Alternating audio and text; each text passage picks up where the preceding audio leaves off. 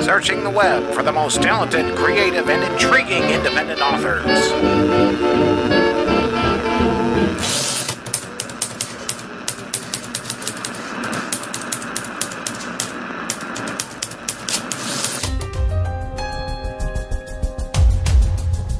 The Emit Blackwell Show, diving into the creative minds of sci fi, fantasy, horror, and paranormal authors.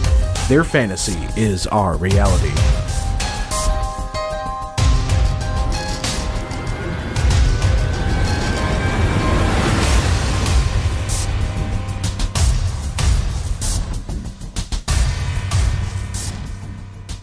Hello, and welcome once again to the Emit Blackwell Show. Thank you for listening, and don't forget to like, share, and subscribe. On this episode, I'll be speaking with our literary hero, Annie Acorn. She currently owns and operates Annie Acorn Publishing LLC. She writes cozy mysteries and has never had to experience writer's block. We will talk about how she approaches the beginning of writing a story, how she has avoided writer's block, and her previous writing careers. This is an amazing amount of information, and I really encourage you to listen. So, without any further ado, let's begin. Anne, how are you doing today, Annie? I'm doing fine. It's a pleasure to be here. Oh, well, thank you very much. Now, your books are considered cozy mysteries. Would you care to explain what type of genre this this cozy mysteries thing is? Well, obviously, it's a type of mystery, usually revolving around a murder, but not necessarily so. Uh, to be considered a true cozy, it shouldn't include violence beyond what is absolutely necessary to produce a corpse, who immediately becomes the body and therefore non personal. Mm-hmm. And it should also not have a lot of raw sex, although romance is often a component. Mm-hmm. Uh, the cast of characters needs to be limited because the reader hopes to solve the mystery slash puzzle before the denouement at the end of the book. Uh, the main sleuth is often an amateur, although a professional is often in the wings to provide access to autopsy results and information about poisons and stuff like that. I would add that, um, in my opinion, the puzzle should also be fair. Mm-hmm. By which I mean that enough clues have to be laid along the path to make it possible for an astute reader to reach the correct answer near or at the end of the book. And you don't want it to happen too early. I actually started writing my first mystery because I was guessing the mysteries I was reading. it was very frustrating. Uh, and I should say the um, the current mysteries I was reading. I didn't have that problem with the uh, old uh, British ones, for instance. Mm-hmm. And I would define having solved the murder as you're being able to correctly identify the motive and name the murderer by being able to explain both why he or she could have done it and why no one else could have based on what's in the story. Yeah, that sounds interesting. It seems like there's a lot of qualifications for something like that, but just like you were saying, you know, the old mysteries, it's almost as if something like that could have been put on a stage show, you know, and, and, you know, I've seen a lot of stage shows that kind of, I guess I probably have seen a lot more cozy mysteries than what I've uh, realized, but yeah, I know what you're talking about. Now, when did you actually begin writing? Well, I joke that while some people are born with a silver spoon in their mouth, I was born with a pencil. Um, I learned to read very early, in part because my paternal grandmother and great aunt lived in the other half of the duplex that was our home. So I was the only child among adults for three years and pretty much really for five because my sister was too young to really be read to or do anything. So I read very, very early. Then I had the advantage of a maternal grandmother who was in charge of quality control for Donnelley's Printing Company in Crawfordsville, Indiana, and she would send pads of paper and books with blank pages that had been made there at the shop out of you know leftover paper or uh, incorrectly put together books, and we had those around the house all the time. So before I was in school, I was copying other people's books onto these pads and into these blank books, just literally copying other people's words. And then it was just a tiny step before I was writing my own words, which had always sort of been streaming in my head. Mm-hmm. And it wasn't until really I was a teenager that I can literally remember a moment when we were driving through the Smoky Mountains in East Tennessee looking at the foliage. And we came around a curve in the national park that provided us with a panoramic view off to my right. And it suddenly dawned on me that as I was visually enjoying the scene, a description of it was streaming through my mind. Wow. As if I was reading it off a page. And that was the moment when I sort of connected the dots and realized that I who I was was that I had always heard words that needed to be written in my mind in the same way that a composer would hear music in their mind. Mm-hmm. Exactly. And, And, you know, it's the, just always there. Yeah. yeah, and the funny thing is, because you are a writer, you're also a very astute communicator. Okay. And the fact that you've had to even do this in your career, you were a technical writer for AHRQ, which is the Agency for Healthcare Research and Quality, NIH, which is the National Institute of Health, and SAMHSA, which is the Substance Abuse and Mental Health Services Administration, which is a huge mouthful. and, and, uh, you were on contract with the University of Maryland. Has technical writing helped you with organizing your fictional writing?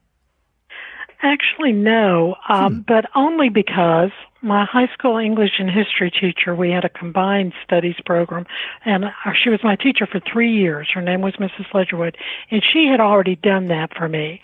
Logically, writing and developing a paper was really her lasting gift to me, both when I double majored in history and English in college, and then throughout my business life as I was a casualty insurance adjuster and had to write reports, when I was involved in the writing of marketing materials, when I wrote proposals and business plans for my own business, and eventually then the technical writing I did for the government agencies. That having been said, if I hadn't already had that skill, technical writing would certainly have demanded that I acquire it. Although it's important to remember that there's a lot more freedom in fiction writing, particularly in dialogue. Women, uh, for instance, I have a son who uh, is a poet and, and a writer, and he pointed out when he read one of my very early works, he said, Mom, I, I know it was written by a woman. Hmm. And I said, Really? And he said, I always know when it's written by a woman. And he said, It's because of your dialogue. Women tend to speak in full sentences and men don't. Hmm.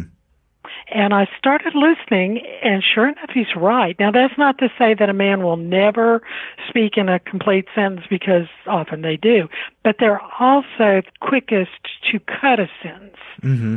They'll say, come here instead of you come here. You see what I mean? Mhm. Yeah, And I so can. it's not that it's wrong, it's just shortened. And ever since then, I've been very aware of that. It was just a neat tip coming from left field completely and very true.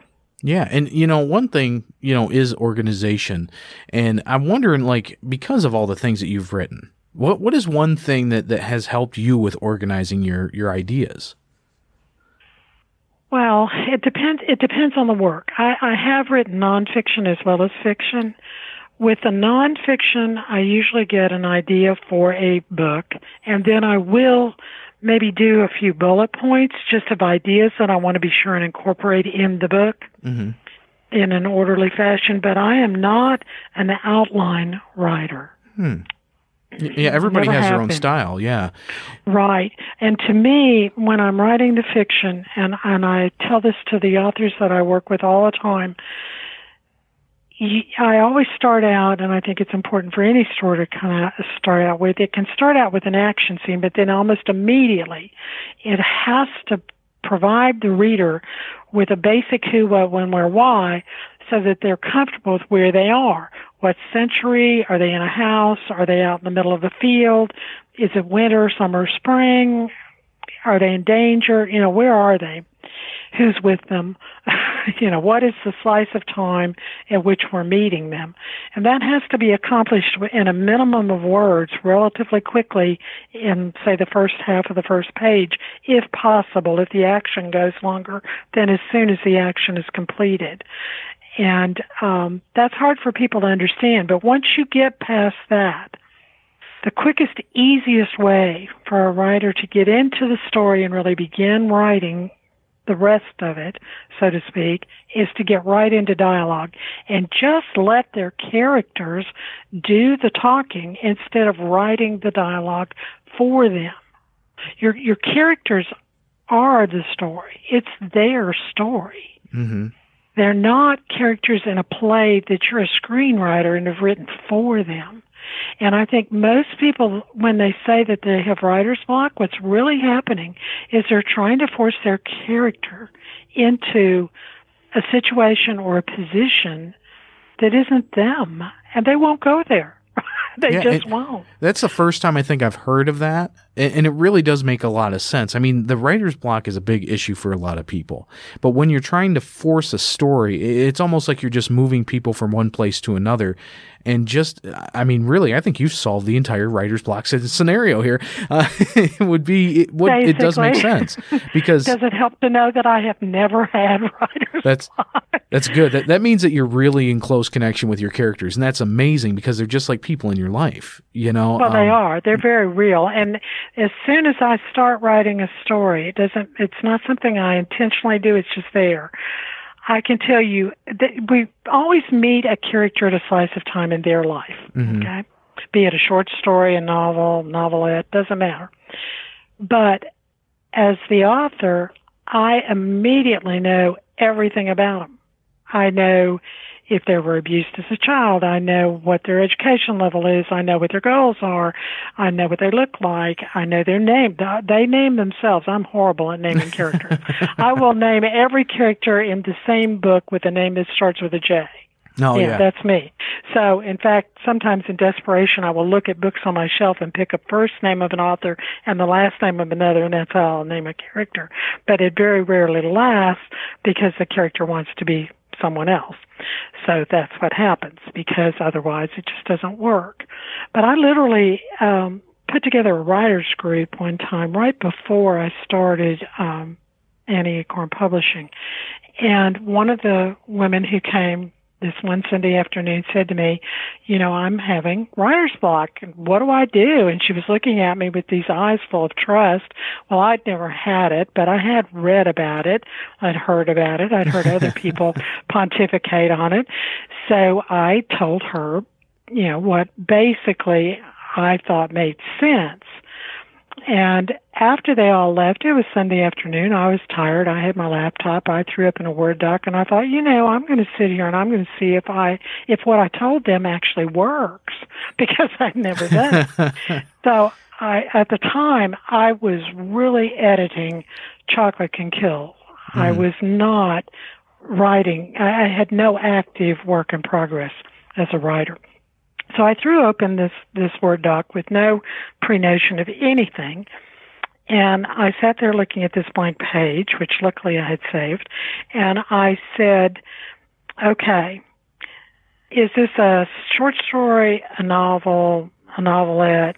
And I thought, well, let's make it the beginning of a novel. Is the main character a man or a woman? Are they old, middle aged, young? Well, the character in Chocolate Can Kill is middle aged, so I made it a woman in her late 20s. She was a recent widow. What is the size of time? Where is she? I had been writing about the East Coast, so I put her outside of Seattle up on Puget Sound. Uh, what does she look like? I got a description. What's her name? I just threw out a name. And what is the slice of time at which we find her? And the slice of time I chose was that she was standing across the street from a storefront on which were written the words bright treasures. There was the store story that her husband had wanted to have. And it was antiques, uh, gift items, that sort of, and artwork. And she's stepping off the curb to go open the store after he has, she's now realized, been murdered. And my goal was to just see if I could write a thousand words. So I dashed off a thousand words. And about the time I finished, uh, one of the gals that had been there called to thank me and she said, What have you been doing since we left? And I told her and she said, Well, read it to me. And I did. She said, That's great.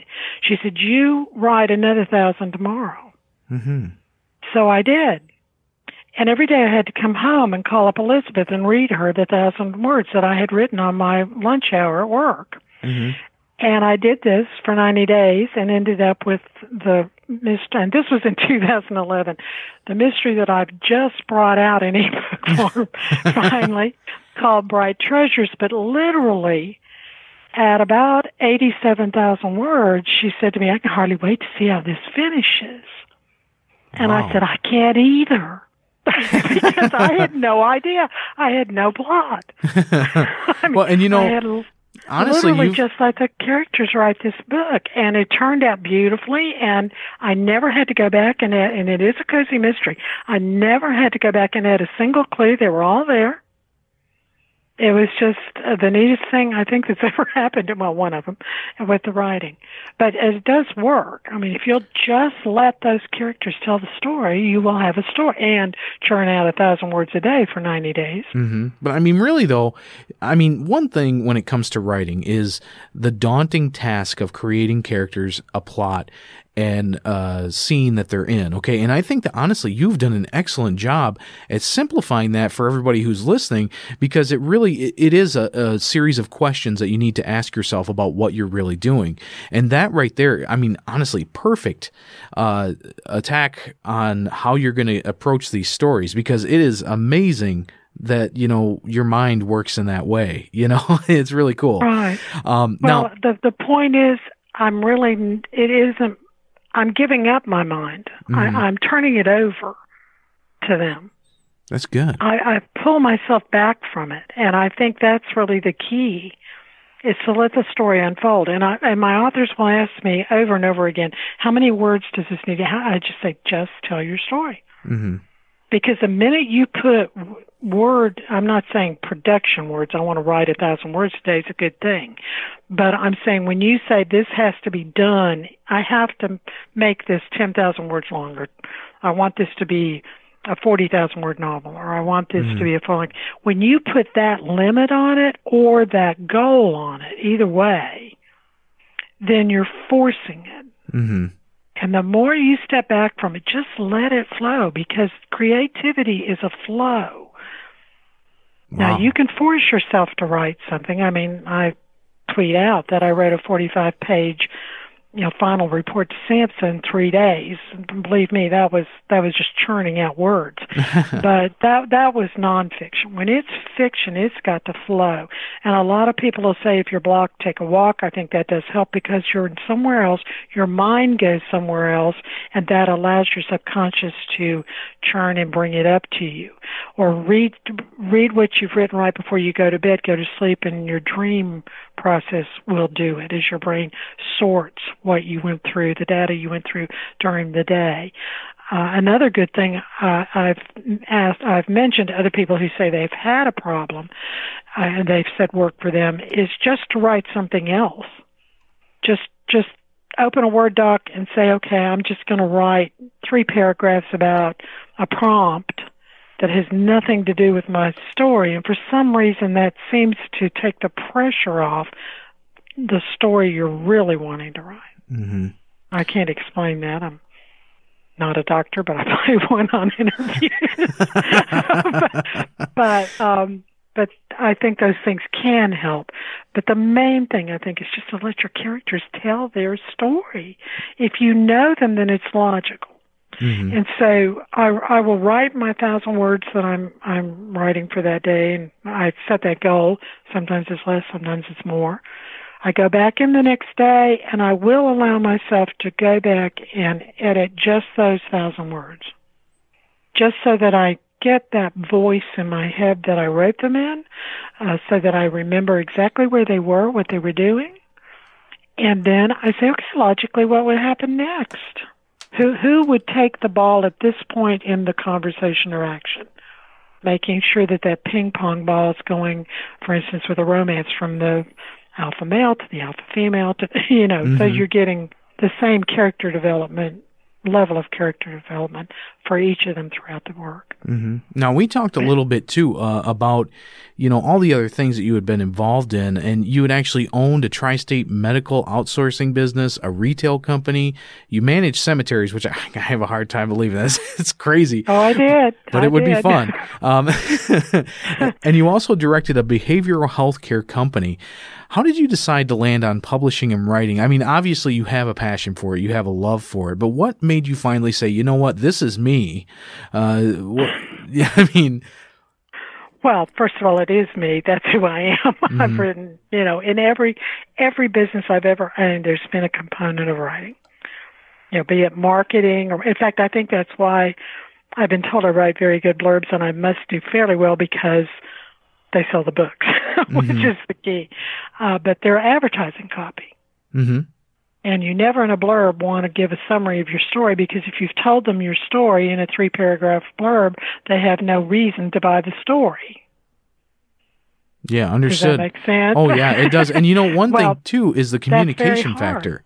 You know, I mean, you think about it, every one of your jobs that you've done, every one of the agencies that you've worked for or been contracted to, they're all about communicating. And, and honestly, I kind of wish that they taught more about this in school, about communicating with people, because it really does break down barriers and it gets things done.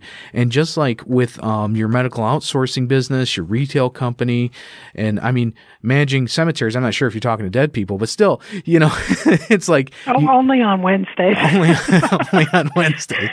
Uh, but yeah, it's true. You know, you, you have to be able to communicate. And with everything that you've done, I mean, it's amazing that you've landed on publishing because, I mean, you have a heart of a writer and to help other people is is amazing to me. So along with well, your writing uh, with the Cozy Mysteries, you also run the publishing company. Um, would you care to tell us about the publishing company, how it got started? Well, that was uh, I backed into it. Um, I did as you say, I owned a tri-state medical outsourcing business, which I had started from scratch, which uh, Inc. magazine says an entrepreneur is certifiably crazy because basically you're jumping off a high dive into a pool without knowing if there's any water in it. Um, what you probably will not believe is that I actually did all four of those things that you listed at the same time. No way. No, I did. in Birmingham, Alabama.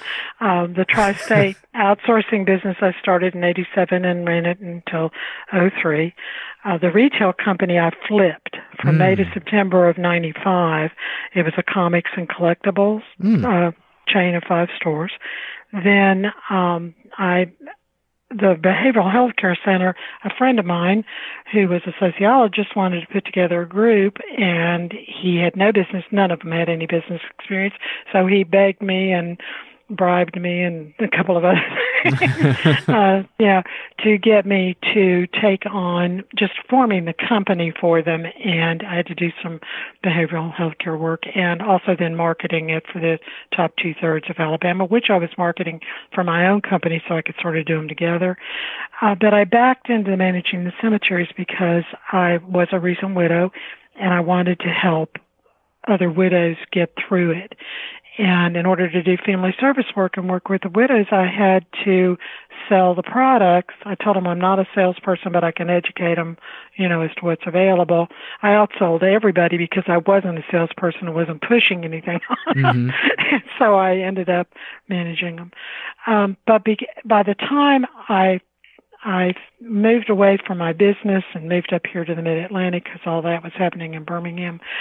I had determined that I would never ever, ever again own a business. I never wanted to rent a building again. I never wanted to deal with fax machines and phone systems and, you know, all of that. And I never wanted to deal with payroll again. Well, now look so. I, yeah, so I was never going to have another business. Fast forward uh, to 2011 and really more like 2009, the government started cutting back on all of these agencies. Mm-hmm. And the company that I was doing the contract writing through was winning the projects, but they would then would not be funded. And so they were laying people off. And one of the people that I worked with had an interest in e-marketing and, uh, he had approached me several times and said to me, you know, I know how to market and but I don't have any product. You probably have file cabinets full of stories. And I said, Oh, file cabinets, boxes, steamer tray. you know, yes, I do. I've got it. And he kept saying, you need to do this, you need to do this, you need to do this, because he knew, you know, that our time there might be limited as it was. It, it wasn't particularly limited, but I had no way to know that. So finally one day I said to him, okay, I'm going to let you talk me into this um, three of us got together and had him come over to my house, and he was going to help us set up our websites and get on Twitter and Facebook and all of this sort of thing. Show us how to use GIMP so we could do covers, mm-hmm. which was really a disaster. Um, the best thing I ever did was find a graphic designer. and um, anyway, as I was sitting there taking you know extensive notes in case I ever had to explain to someone else how to do it as someone who had owned businesses, I was seeing a hole. I knew from things that were hitting the Washington Post and um, on Facebook and what have you that you know indie authors were really growing in number. John Locke had just written his book on how he had been the first person on Amazon to sell, I think it was a million ebooks, mm-hmm. and um, there was a lot of interest in it. And I just was seeing in my mind these men and women sitting at a kitchen table struggling with maybe the next great American novel and no way to get from that point to where Andre was taking us because of his technical knowledge. Mm-hmm.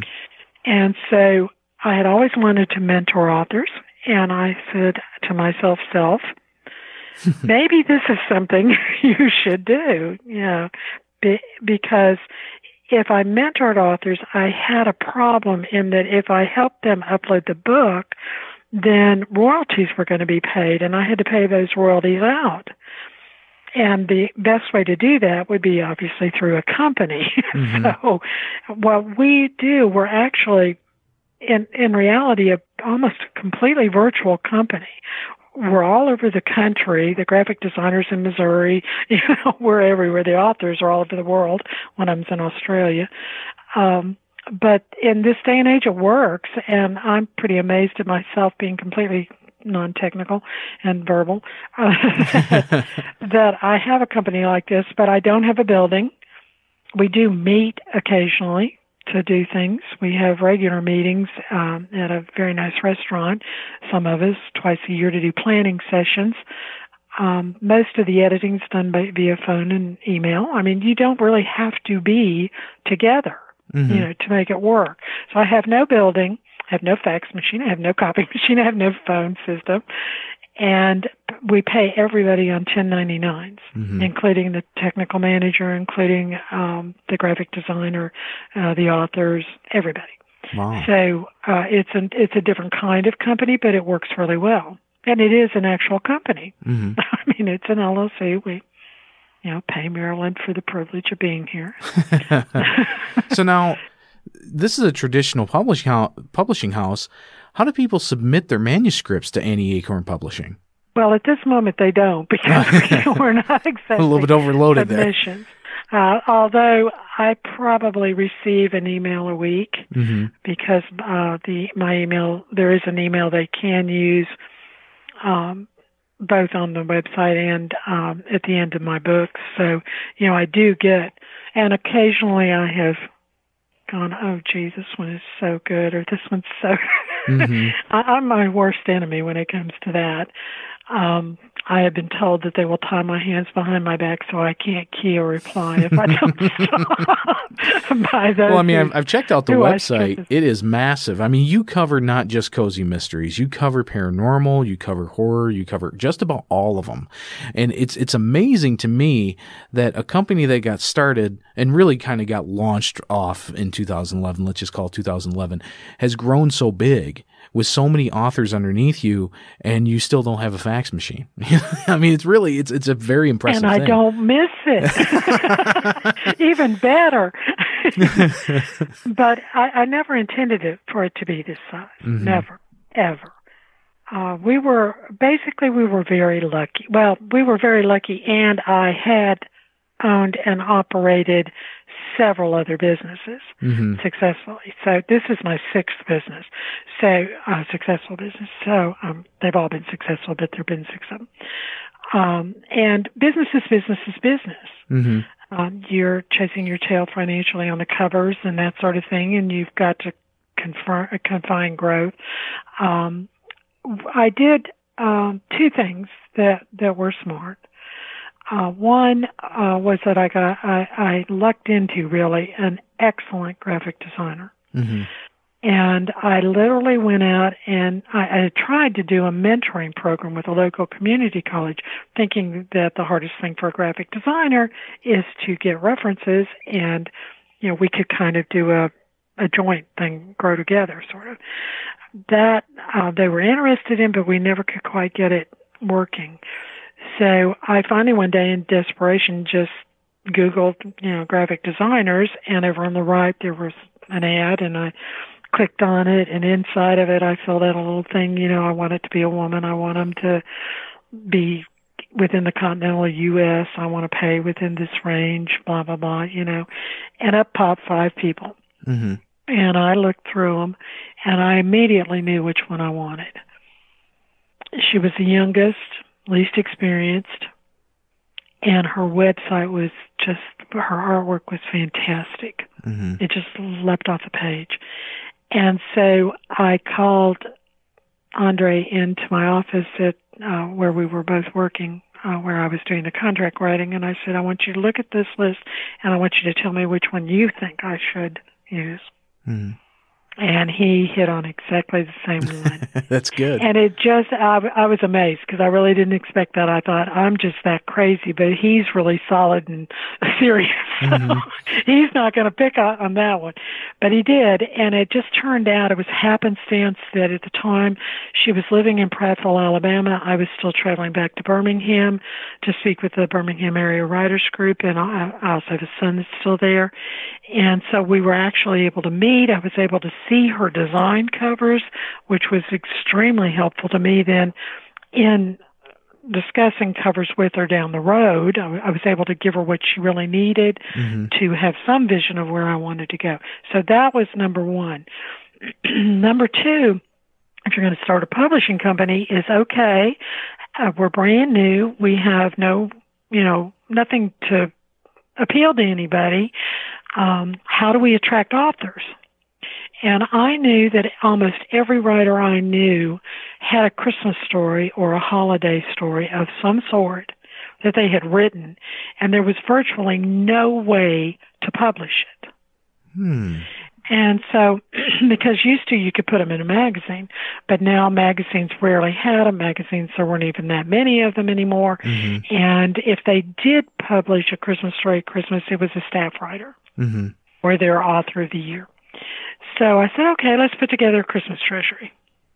You know, everybody pull out your story. We'll put them to, we'll put a Christmas treasury out, and we did. Mhm. And it sold. It still sells. It sells every month. Wow. People read our Christmas treasuries on the beach in August. You know, it's those, it's like those people that listen to Christmas music in July. I'm one of those people. And Oh, I love it. oh, I'm drinking out of a Santa Claus mug. What are you talking about? But I have to do it because I have to write Christmas stories in June.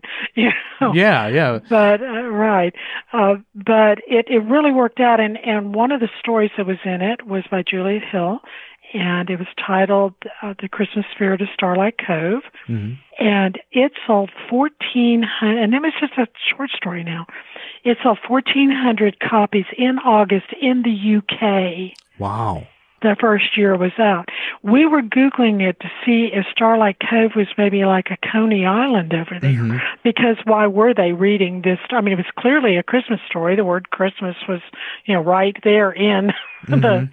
The title, and it still sells. It's sold thousands and thousands of copies, and we've churned out a Christmas treasury every year since. And they, if they buy one, they buy them all. Wow. And we we market it both as the anthology and then each of the stories individually, unless they're just really too short to put up. hmm But uh, and that gives us the ability to reach um, buyers that want to pay 99 cents for a story and buyers that want to pay more the anthologies are 3.99 hmm so uh and we've made money on every one of them a considerable amount of money because christmas is just but that was just a happenstance. It was a good i- it was my idea but it was a good idea. I had no idea how good an idea at first. And then the other thing that really did help us was that the book that I brought out as Chocolate Can Kill had been a Malice Domestic finalist hmm under another name. Mm. And I was I really held it back. I I was at a crossroads. I had saved already three domain names hmm and I really did not intend to self-publish that book at first. I held it back and I brought it out the following February 12th and I had maybe I want to say 200 friends on Facebook. I know I didn't have much over a thousand Twitter followers, hmm but I had joked about, can you write chocolate off as an office expense? Can you do, you know, as as we were getting ready, Angel did a cover that was just perfect for a cozy mystery. Um, it's a chocolate that's you know opened up and blood's coming out of it. You know? but it but it really with doilies, you know. But it it was a perfect cover. Chocolate Can Kill's a great title for a cozy mystery. Uh, it's interesting. 85% of the women's bios that I was seeing at that time on Twitter had the word chocolate in them. I'm Oh, a chocoholic, um, you know, that kind of thing. I'm a reformed chocoholic, whatever. So it just really appealed. We brought it out. We were so stupid. We brought it out on February 12th, which is the dead time of the year hmm from Feb- from Valentine's Day to April 15th. We sell books, but it's really the low point. And we brought it out then on April 22nd. It was number one in Cozy Mysteries on the Barnes & Noble website and eventually was number one on the whole website, beating out James Patterson, everyone, and did similarly over on uh, Amazon. And it just, you know, we just we we were able to market it through Twitter, you know, to where we got it there. And I was very lucky the Twitter followers I had retweeted and retweeted and then their people retweeted and pretty soon you're reaching millions of people. Yeah, and and you know Yeah. what? It's kind of funny because I, I'm not sure if you're aware of this, but in a way, you're doing some SEO marketing. Which do you even know what that is? I have a vague idea. Okay. But I'm I'm very serious when I say vague. Yeah, well, still, it's it, it's kind of like it's kind of like picking up on things that are already trending. Okay, and the fact that you did that with the chocolate thing, and you realized that women would be interested in a book like that, you you've connected all the dots, and uh, that's really amazing. And speaking of women, I mean, you started a group called uh, From Women's Pens, a cooperative of women writers. Um, tell us a little bit about that group.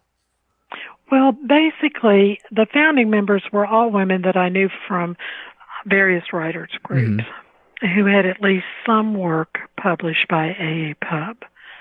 Um, many of them just a short story in one of the anthologies, because we've done other anthologies too. Romance anthology, we did a Spirited Tales anthology that has um, some time travel, it has some paranormal, um, that sort of thing uh, in it. Um, and anyway, they were uh, they were women, obviously, and their work had been published by AA Pub. And as we've added projects for other female authors, their names have also been added to the roll, uh, be- primarily because they meet the basic standards we believe the group represents. Mm.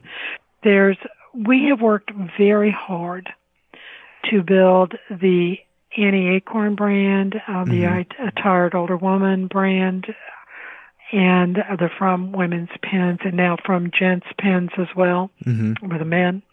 We picked them up when we started putting out the horror yeah, yeah, we do like our blood and And the- guts. yeah. and the westerns. You know, those those are the men, and some nonfiction as well, and and even a fun uh, novel from Australia. But uh, basically, we wanted certain standards. We're not Christian authors, but we tend to appeal to Christian readers Mhm. because most of our works the vast majority of them, do not have a lot of foul language in them. They don't have a tremendous amount of violence in them. Now, of course, the horror and the westerns, they'll mm-hmm. go there. And we have a thriller, Who's Minding America, written by D.A. Grady, which is about terrorists and North Koreans and gun control, and it goes pretty far with that. But and so we we've tried to build the both the fact that if you buy one of these books, your chances are you're getting the kind of book you're looking for, and they're not always out there. There's there's there are people who want more of that, and I have no problem with that. Uh, we have a blush series. We've done some of it, but it's the smallest part of our our listings. Uh, the vast majority of them are going to appeal to people who are looking for a Hallmark, Netflix, Christmas kind of feel to their romance, women's fiction, if that makes any sense. Oh yeah, I grew up in the uh, '90s. All right, uh, we used to love Saturday morning cartoons, and in just mm-hmm. about every one of those shows, there was a moral to the story. And honestly, it's something that's really missing with a lot of books nowadays.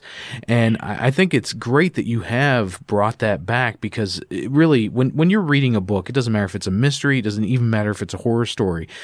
The, having that moral of the story, or even a resolution that that makes the reader feel like you know what? I'm taking more than just the story away. Um, th- it's important because it doesn't happen very often. I commend you for that immensely because it, it takes a lot of courage to do that in this type of market. Um, because it is, it's a hard thing to do. Now, as far as marketing well, goes, you've talked about your marketing strategies a little bit. Um, as far as like the, the books that you have currently have out now, what are some of the marketing strategies that you have used? Well, all of the basics. I mean, blogging, joining Facebook groups, attending book fairs, doing interview signings, and last but certainly not least, uh, tweeting. Mm-hmm. The average ebook, and most authors are not going to want to hear me say this, never sells over seven copies. Hmm. There are now well over 5 million books available on Amazon. Mm-hmm. No one is ever going to trip over your book so you have to market it. The best thing I ever read on the role of marketing in the life of an author was basically, it literally went through this, and I'm paraphrasing, and I don't even honestly remember the name of the woman who wrote it, but she was an ex-publicist uh, publicist back in the 90s. And what she said was basically once you have written, rewritten, edited, allowed your uh, work in progress to grow cold, edited again, passed it out to beta readers and writers group members, edited it again, queried it, secured an agent, signed with a publisher, worked with your editor, rewritten to their specifications, and proofed your book. You are now on the 50 yard line. yeah, it's about and right. For the, right. And for the rest of your natural life, you will market your book. Wow. Now, our mantra at AA Pub is that if you tweet it, it will sell, and if you don't, it won't. Mm-hmm. Okay? Research has shown that a potential buyer must see a tweet with the book's Amazon buy page link and a cover JPEG attached mm-hmm. seven to ten times on average before they will even click on the buy link. Mm-hmm. And then they may click on that buy page link seven to ten more times before they will buy the book. Mm-hmm. Okay, and for a while that worked really well. If you just, you know, sales or sales or sales, I have sold cemetery plots. Okay, I have mm-hmm. sold caskets. sales, sales are sales are sales. It's how many times you're going to knock on the door to find a willing buyer for the product that you have in your hand. Mm-hmm. If you throw enough mud at the barn, eventually some of it will stick. Mm-hmm. And so every product is different. It may be that where chocolate can kill because it went was a genre book with a great title and a wonderful cover and a good book um you know sold very quickly and you know it took you know seven to ten times it was going to sell a copy okay mm-hmm. where another book, uh, other books of my own even have taken maybe, for instance, my Luna Lake Cabin series. Some of those were out there for two years before they really started selling more than one, maybe a week, mm-hmm. and now they sell several a day, and at times hundreds a day. okay, it depends on the time of the year. Mm-hmm. So some things just take longer. Um, but if you do it over and over and over and over and over again, because every time you tweet, someone else is going to retweet it. Mm-hmm. You know, eventually you're going to reach literally millions of people. Mm-hmm.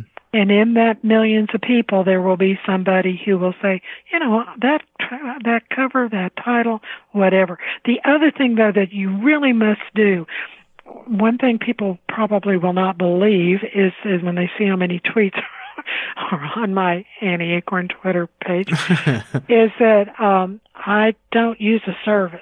Mm-hmm. I have tweeted every one of those tweets myself. Mm-hmm. And I don't always, but I make it a point to be sure and do at least some literally connecting with my Twitter followers, mm-hmm. really engaging them. Giving I, one night, not too long ago, I actually tweeted out, "Well, I feel like I gave a really good writing course tonight because I had been on there and I just sat there and." You know, as people said, I'm having trouble with this. Can anybody help me? I just answered, and we had strings of tweets, and I think some people really learned something. Another thing I do is I have, oh, I don't know, 15 to 20 Word doc pages mm-hmm. of writing tips that I tweet out through that Twitter page. Wow. And honestly, and do you do like public speaking things? I have more in the past than I do now. Okay, well, I'm just saying, you got it. All right, you, you, you got all the information that anybody. I mean, anybody who's just tuning into this show. Let's say this is the very first show you've ever heard of the Emit Blackwell Show. I have to tell you guys straight up, this information that Annie Acorn is giving out is extremely important to your marketing, to how you build up your characters, avoiding uh, writer's block, all of that information. I mean, really, Annie, you you have a wealth of information, a wealth of experience that has kind of lent you down this path of of being a mentor to so many people. Um, it's amazing to me. Well, it's very rewarding to me. Yeah. I feel like I, I've been very lucky. I mean, there were some key people along the way. One of the writers groups. Uh, what might we moved 19 times in 20 years? Oh yeah, only 19. Yeah. right. No, we literally did. My husband was a retail manager for Kmart and then Walmart, and he was very good at opening new stores. Mm-hmm. So they kept moving us around the deep south. One of the writers groups that I attended years ago was in Albany, Georgia, and they just had a wonderful program. They split themselves in two. One was a group of people who just wanted to be authors, and the others were all published authors. And the published authors mentored the smaller group. Mm-hmm. And um, there was one woman who wrote with a, at the time, famous uh, romance author. This was years ago. I won't give you the year. I'll date myself too badly. but, but anyway, one thing I remember her telling me was always include scents, aromas, smells, odors in your book because the more senses of the reader that you can engage, the more they're going to feel like they're part of your story. And uh, scent is is a very strong one. I mean, I can use a word and you may take a different meaning out of it. But if I say, you know, that the scent of roses filled the air, you're immediately going to know what that air smelled like mm-hmm. because you've smelled roses. You know, if you if I put the aroma of cooking beef, you know, greeted her when she opened the door, there you are. Mm-hmm. You know, and it's just a way to pull that reader into the story. Mm-hmm. And that was a wonderful tip. And it's helped me, I think, engage my readers over the years. I hope it has. I feel like it has. Um, another thing that has helped me is the fact that I was in theater early on in my life. And so I always visualize my characters as walking on a stage. Mm-hmm. And I'm amazed by how many submissions I've received over the years and how many things I've reviewed for other people just trying to help them. And they'll have well, one of them had what had to have been an octagonal room because Wow. she had things on so many walls, you know, and she was talking about windows, but then there were bookcases and there was a table in the middle and then there was a desk and then there was, I was like, nobody can get around, nobody could live in this room, you know, and I made her literally draw it. You know, yeah, that would be. because I said, and you you can't have someone come in on the right side of the stage and suddenly they're over at the left. They have to have a reason to walk across, hmm and uh, people don't think of this. That's one of the. I think that's one of the things that most clearly tells me when I'm reading, and I do read them for my sins. Um, indie indie published books that have not had good e- uh, professional editing applied to them hmm uh, is that kind of fault in the book. It isn't. It isn't typos. It isn't misspelled words. It isn't whatever. It's that they they don't move their characters around on that stage or see them as if they're on a film or on TV. You know, they've got to move. You know, Mhm. act it out. Mhm. You know? Yeah, I'm I'm sure that there's some authors out there, and and one thing I can tell all you authors out there uh, from experience is the one thing that works the best is reading it out loud to yourself. If you have to act it out in front of a mirror, that just makes it more fun. Uh, but yeah, read it out loud. Get engaged with the story that you've just written because it really does uh, make a difference to a reader when they know. I mean, just like you said, you've read stories and you've read good ones, you've read bad ones. It really does make a difference when it's done correctly, or at least they've edited it out so that it does make more sense. But um, I do have one more question. I might have to put you on the hot plate for this one. oh dear. All right. Are you willing to participate in a game with me? Oh, I'll do it. okay. We have a different game here on the Emit Blackwell Show. This is the word association game. I'm going to give it a fancy name, though. It's going to be the Mega Ultra Super Word Association game. Here's how it no works. No pressure. no pressure at all. Here's how it works. Each player will choose 10 words, okay? The opponent must associate each word with another word, excluding any words that start with a particular letter. So, for example, if I chose uh, the word apple and you said barbecue sauce, don't know why you would say barbecue sauce, but okay, you say barbecue sauce. And I said, but my letter is excluding anything B. And I'll tell you that before the game starts. So, are you oh, ready? okay. I'm not sure if I'm ready, but I'm willing. Okay, I'm going to begin, and then you can quiz me afterwards. You have your 10 uh, words already? Oh, I, I can come up with ten words. I'm a I'm a writer. yeah. She's got the best words. All right, here we go. N. Uh, anything that starts with the letter B will be excluded. Okay? Okay, All right, so here's the first word cat, dog, shelf. book. Oh, Ah, there's one for you. All right, cool. All right, next one. Running. walking, Okay, reindeer. Christmas, Oh, that's a good one. That's a good one. Uh, golden. um, hour, Okay.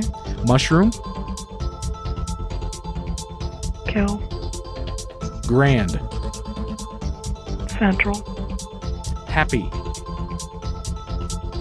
Content, Leftover. Or leftover. abundant, Okay. And last one, machine. made. Okay, cool. So that was the first round. Now, you only had one point. That's okay. Hey, you did really good. This is the first time we're trying this on the show. So go ahead and give me your 10 words. And which letter are you excluding? R, Okay. R. Okay, go ahead. trees, Uh, leaves. fish, Uh, trout. cookies, Uh, chocolate. Water, Frozen. walk, Run. Ah, cool. oh, you got me. Okay. Uh, so there's one for me. All right. Keep going. All right. Mountain Um, hills. pie. Um, apple. Path. Um, trail. Music. I almost said I almost said something worse. I almost said rock. Uh, uh, classical. House. Oh, uh, Adobe. That would work. Adobe. All right. Anything else? nope, that's ten. Oh, okay. So we're one for one. That's pretty good. I'm good with that. I, you know, I've never tied on this because we've never played on this game, um, but it was very entertaining. it was fun, and uh, Annie, I tell you what, though, you really are a plethora of knowledge. You, you're. Uh, That's because I'm old. I wasn't going to say it. I wasn't going to say it. No. well, when you live a certain number of years, you know, you pick up a little something. God help you if you haven't learned anything. oh no, no, we got no, no, that's horrible. So anyhow, um, so where can people find uh your books? well, um, there. You mean where are they available to be purchased? Yeah. Where can they find? Uh, they're on Amazon, iTunes, Barnes and Noble, Kobo, uh, which now uh, I understand Walmart is selling the Kobo readers as well. Um, Kobo traditionally handles what people think of as the um, old British Empire, so we pick up Australia buyers and New Zealand and South Africa, a lot of European buyers through that vehicle. Then there are many of them are now also on Audible and iTunes in that form as well. And um, the print books now, well, they've always been available through Amazon and can be found through Barnes and Noble as well, and you know, independent bookstores and wherever. So and then um, Annie Acorn Publishing. Uh, what's the website for that? Uh, AnnieAcornPublishing.com. All right, and what's your Um, Twitter handle? It's at Annie A N N I E underscore Acorn A C O R N. All right, and thank you so much for being here on the show, Annie. It was really a pleasure. Well, it was very fun to do it. I enjoyed it. And this is Emit Blackwell signing out. Keep on reading and keep on writing, my friends. Searching the web for the most talented, creative, and intriguing independent authors.